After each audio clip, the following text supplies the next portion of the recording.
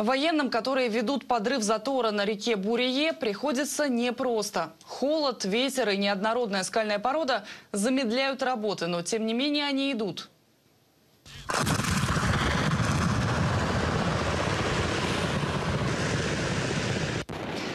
Специалисты успешно произвели первый взрыв.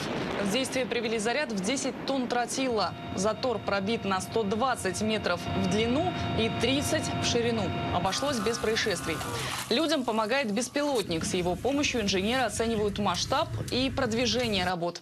На полную ликвидацию природной плотины уйдет примерно месяц. В масштабной операции участвуют более 400 человек и 15 единиц техники, в том числе 6 вертолетов армейской авиации.